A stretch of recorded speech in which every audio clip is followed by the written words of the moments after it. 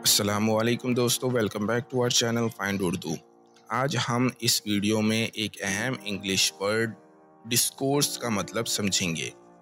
Discourse का उर्दू में मतलब होता है बातचीत या गुफ्तगु।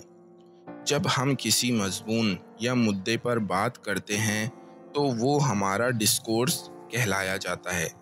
मसलन, अगर हम एक मजमून पर चर्चा कर रहे हैं, जैसे कि सियासी हवालात या तालीम की तरक्की तो ये हमारा डिस्कोर्स है।